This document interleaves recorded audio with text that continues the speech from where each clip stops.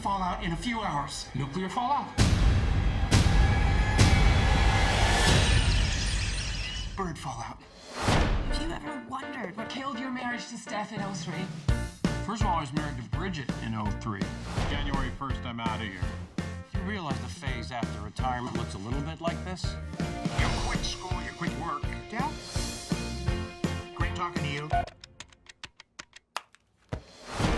Just want to do something big, you know? We need a little adventure. I'm Doing a big year. Big year to do all the things we never could.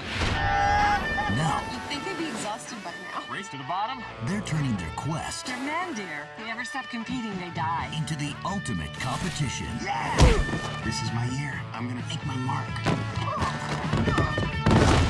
Can't miss the flight. There's not another one for a week. Sucks for him. yeah. Cooking? No. From the director of The Devil Wears Prada and Marley and Me, One of us has to beat this SOB. when it comes to comedy, Did you just do a victory dance? No. Maybe. Yes, I did. go big or go home. You bought me drinks and got what you wanted. Really? You don't want to know. Steve Martin, Jack Black, Owen Wilson. Most people wake up one day and realize they didn't do everything they wanted to do. Am I nuts, Edith? Are you asking me as a therapist or as a wife? Which one is cheaper? This is incredible, isn't it? Unless there's a freak blizzard. I shouldn't have said there's gonna be a freak blizzard. I jinxed it. The big year.